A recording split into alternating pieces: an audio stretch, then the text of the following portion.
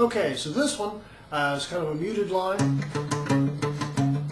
Okay, so we're going to a D chord, we're coming from a half step below.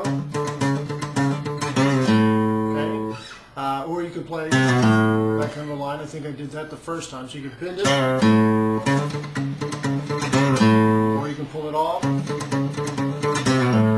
then the second half.